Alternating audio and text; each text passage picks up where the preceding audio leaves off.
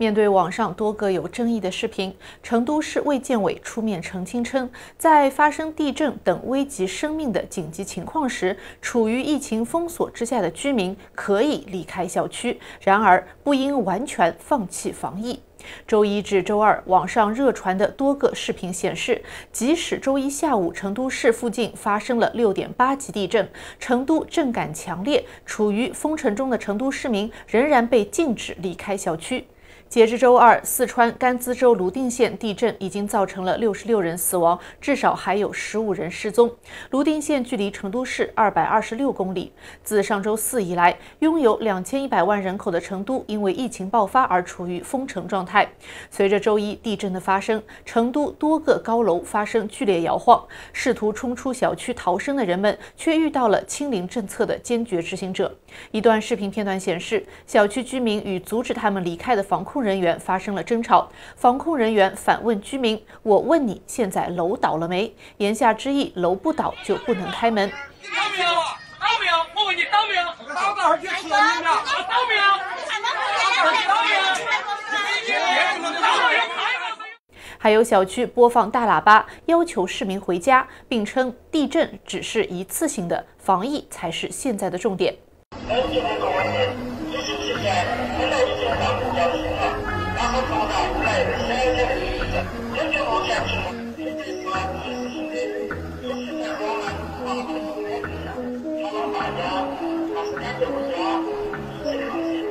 不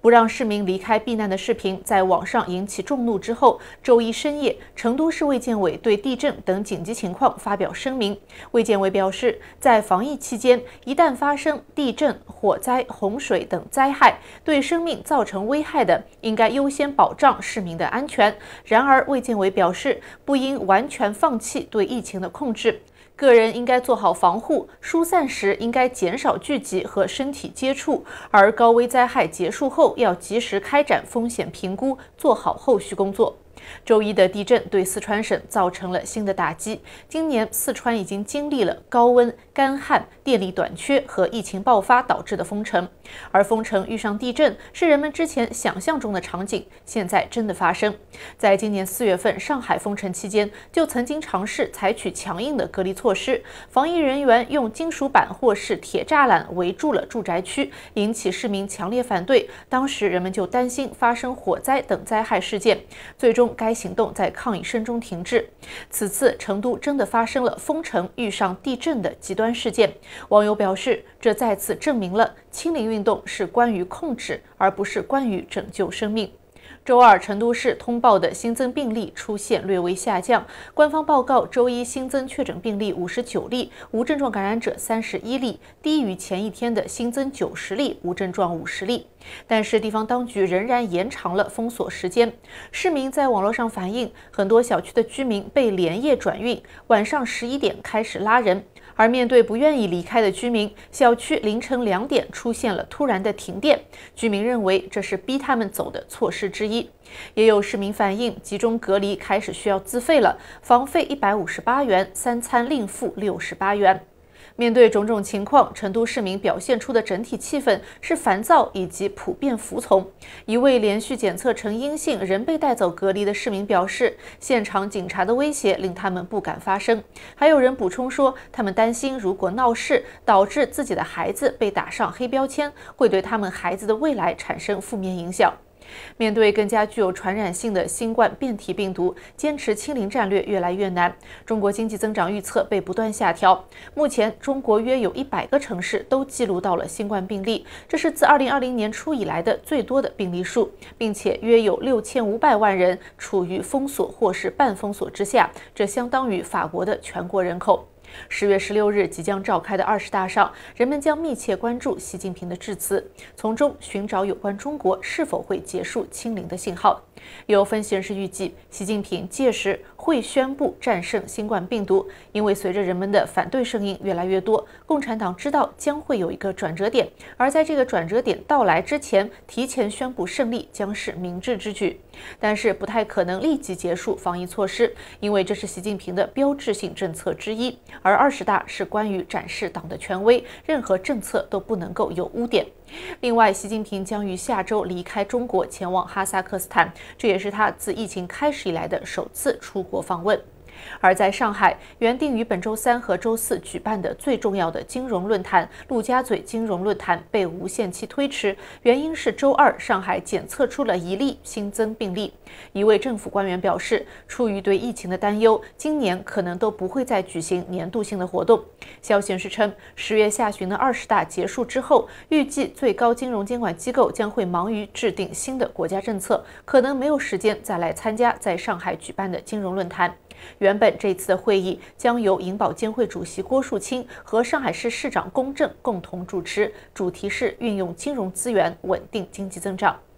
自今年四月份以来，人民币对美元汇率一直在下跌，仅在过去的一个月内就下跌了百分之二点七。疲软的货币，再加上美联储加息和新冠封锁等原因，导致今年中国股票和债券出现创纪录的抛售。根据数据，中国在二月至七月期间录得八百一十亿美元的资金外流。为了阻止人民币继续贬值，中国人民银行周一宣布，将从九月十五日开始减少银行需要持有的外币存款数量。经济学家称，下调外汇准备金率的决定表明，中国央行不愿意继续袖手旁观，眼睁睁地看着人民币贬值。虽然有人认为让人民币贬值可以一定程度上帮助出口，但是央行的最新举动表明，中国央行并不愿意人民币对美元大幅贬值。这是央行继四月份在人民币疲软期间下调一个百分点之后，今年第二次下调外汇准备金率。中国人民银行副行长刘国强在周一说，人民币表现出更大的灵活性，因此在短期内双向波动是正常的。他说，基本稳定是我们所希望看到的。我认为人民币不会发生任何事情，也不会允许发生任何事情。分析人士表示，中国人民银行的首要任务仍是稳定经济，并在下个月召开的二十大之前防止人民币大幅贬值。而为了进一步遏制贬值，中国人民银行还可能增加离岸债券发行，以吸收离岸人民币的流动性。但是，仍然有许多分析师预计，未来几个月人民币对美元的汇率将会达到关键的七，甚至可能更早到来。而人民币上一次突破七是在二零二零年七月。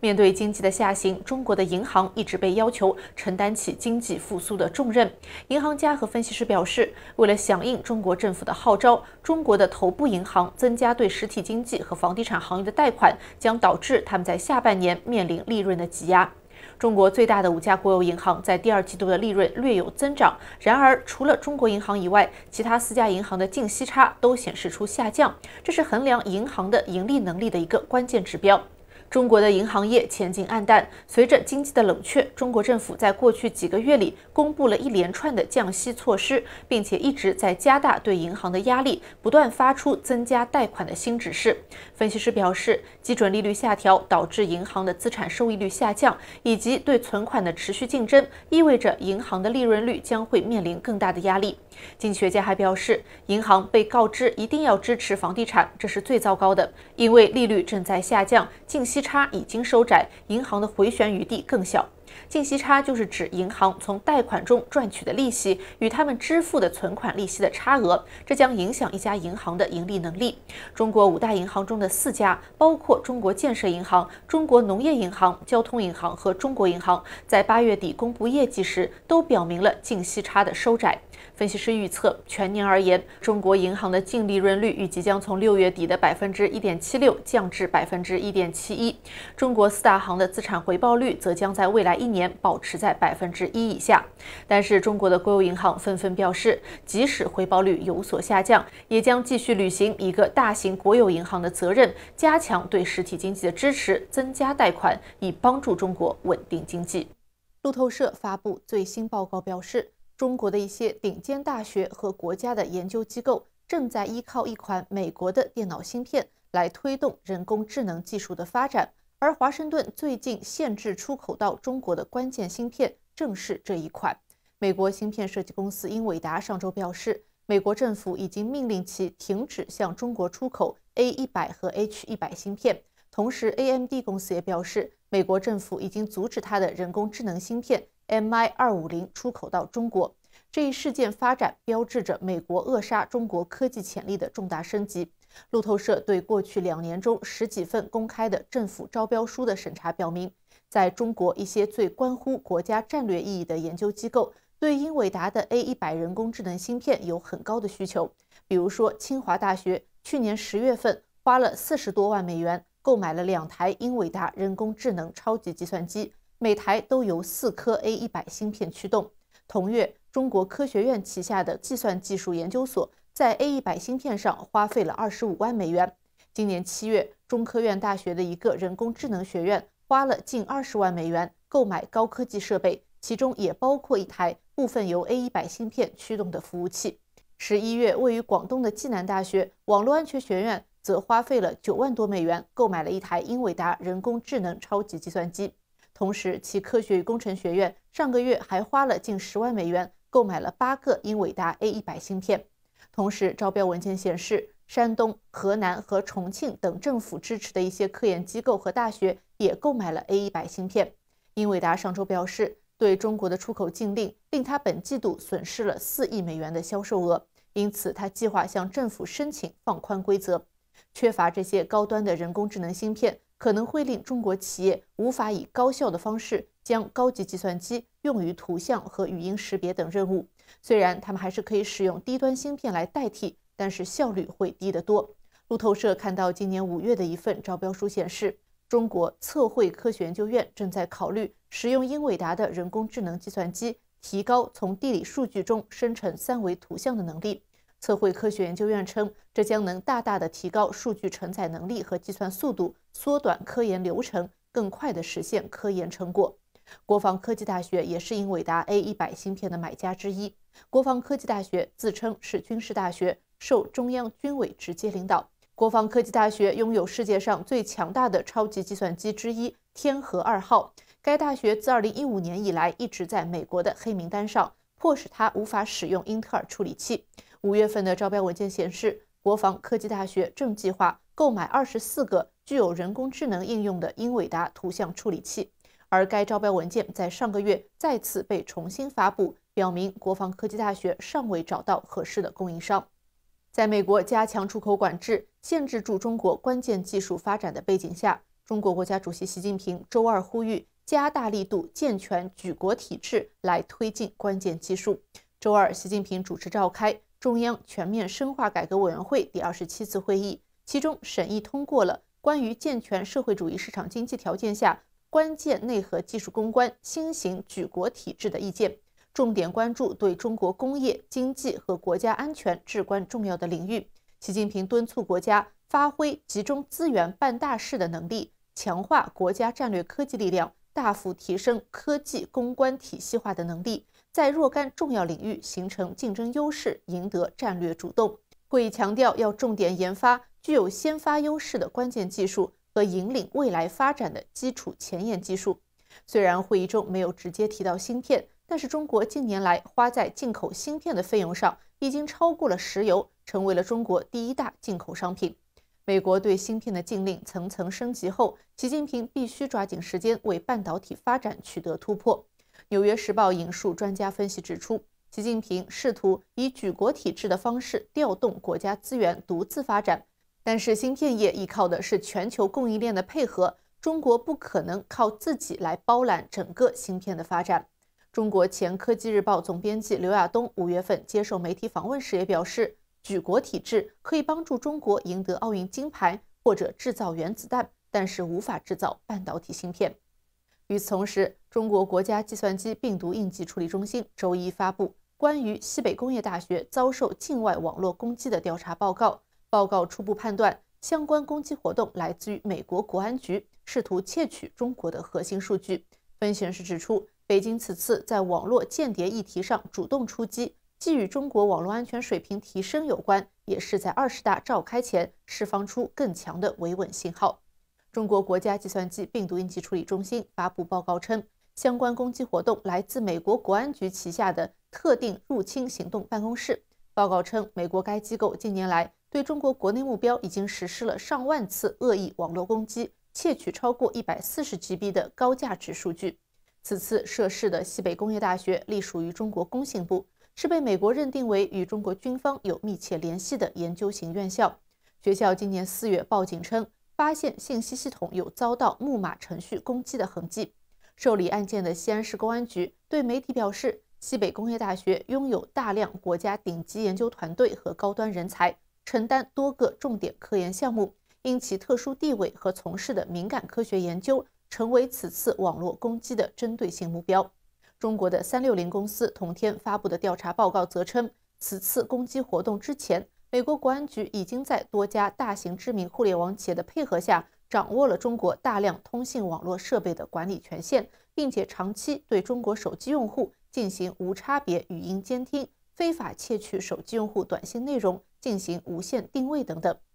这是中国今年以来第二次指控美国对中国发起网络攻击。新加坡大学的分析人士表示，在中美两国此前的网络安全交锋当中，中国多数的时候是被指控攻击美国网络，而近两年来，中国开始积极地披露美国的黑客行动，以主动出击取代被动澄清，一定程度上与中国网络安全技术水平有所提升有关。他们有能力获取更多的证据。此外，中国选择在这个节点警告美国黑客，也与二十大即将召开有关。中国官方本月加大了对网络舆论的控管，此时披露美国的攻击行为，相信也是为了发挥威慑作用，进一步为二十大营造稳定安全的舆论环境。美国总统拜登周二则表示，只要习近平出席十一月在印尼举行的二十国集团会议，他就肯定将与习近平会面。拜登周二对记者说：“只要他去，我就会见到他。”拜登的团队长期以来一直在寻求与习近平面对面会谈的机会，以解决或者缓解台湾问题、中美贸易等关键矛盾。此外，周二，英国政坛中对中国最坚定的批评者之一特拉斯成为了英国的新首相。他自称是西方世界秩序的捍卫者，同时批评前首相约翰逊对中国的政策不够强硬。过去十年，伦敦和北京之间的关系恶化，因为英国越来越担心对中国投资敞开大门可能会带来国家安全风险，而且中国在军事和经济上的强硬态度可能不利于英国脱欧后的自由贸易议程。特拉斯认为，中国是对国际秩序的威胁，而这种秩序在二战后对贸易和外交至关重要。特拉斯在今年早些时候的一次演讲中说：“各国必须按规则行事，包括中国。”中国官方媒体《环球时报》则称特拉斯是激进的民粹主义者，并称他应该放弃过时的帝国心态。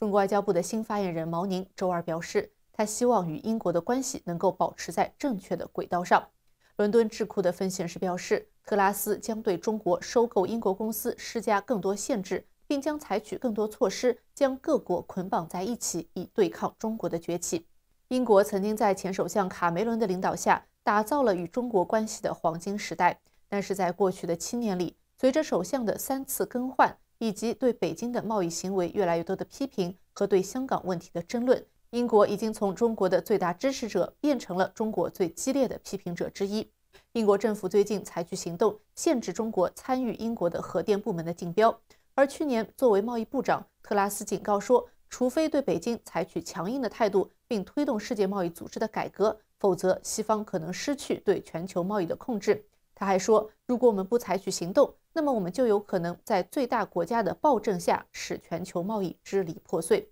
随着特拉斯的上台，他将任命一位与他观点一致的外交部长，同时对华鹰派的政客也将担任英国新的安全部长。以上就是今天华尔街财经的全部内容，感谢您的收看。如果喜欢，记得点赞并且订阅我们的频道。我们下期节目再见。